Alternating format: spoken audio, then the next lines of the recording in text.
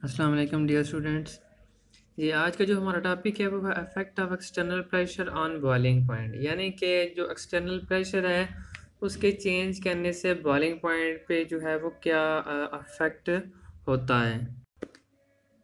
इसमें मैंने जो है, वो थ्योरी जो है, वो नहीं लिखी, सिर्फ़ जो कंसेप्ट है, उसको एक्सप्लेन करने की कोशिश की है मैंने। तो अगर आप इसमें देखें तो इसमें ये है कि आपने सबसे पहले बीपी की डेफिनेशन लिखनी है, यानी कि बॉलिंग पॉइंट की डेफिनेशन लिखनी है। डेफिनेशन लिखने के बाद आपने क्या करना है बुक से सारी जो थीरी है, वो भी लिखनी है। मैंने यहाँ पे जस्ट कंसेप्ट लिखा है बट आपने थीरी लिखने से पहले, जैसे ये मैंने लिखा हुआ है एज इट इज़ आपने इसे जो है, वो लिखना है, ठीक है? ये जो मैं अभी शो कर रहा हूँ ना आपको, ऐसे, बिल्कुल ऐसे आपने शो करना है, ठीक है?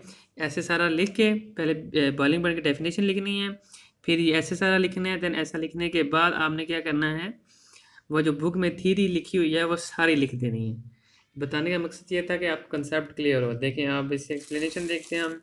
जी external pressure is direct proportional to boiling point यानी कि जितना एक्सटर्नल प्रेशर ज़्यादा होगा, इतना बॉइलिंग पॉइंट भी ज़्यादा हो जाएगा, ठीक है?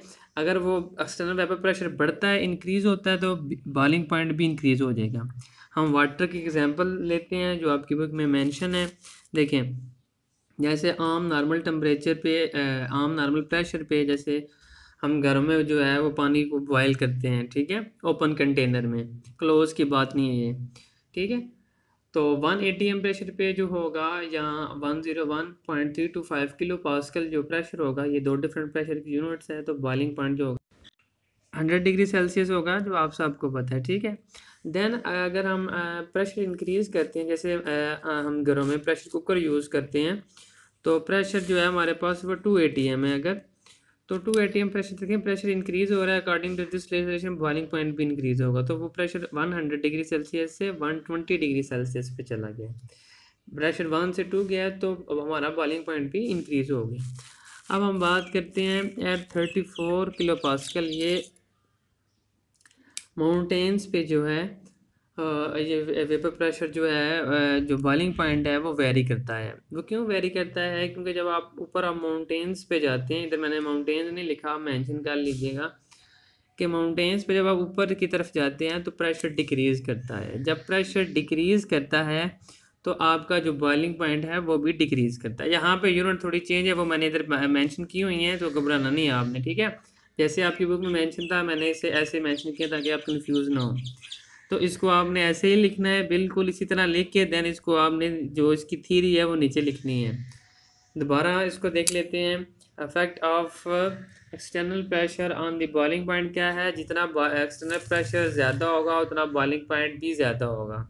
जैसे अगर हम आम नॉर्मल प्रेशर पे हम वाटर को बॉयल करते हैं तो 100 डिग्री सेल्सियस आता है, लेकिन प्रेशर कुकर में क्या होता है कि 120 डिग्री सेल्सियस पे जो है वो वाटर बॉयल करता है। यही वजह है कि हम कहते हैं कि प्रेशर कुकर में जो हमारी फ़ूड है, वो जल्दी जो है वो तैयार हो जाती है। क्योंकि उसमें जो है वो ज़्यादा टम्परेचर होता है, वो जल्दी जो है वो खाना जो है वो तैयार हो जाता है। ठीक है? पल्सेस वगैरह जो दालें होती हैं और मीट वगैरह जो है वो जल्दी पक जाता है एज़ कंपेयर टू जो हम आम रूटीन में यूज़ करते हैं, जिसे ओपन कंटेनर होता है। ठीक है? और अगर हम माउंटेन्स की बात करें, जब हम माउंटेन्स पे अपवर्ड की तरफ़ जाते हैं तो प्रेशर कम होता है। जब प्रेशर कम होगा तो जारी सी बात है कि अकॉर्डिंग टू दिस रिलेशन जब एक्सटर्नल प्रेशर कम हो रहा है तो बॉलिंग पॉइंट भी कम हो जाएगा। ठीक है? आई होप सो कि आपको समझ आ गई होगी। ओके जी, अल्लाह हाफिज़।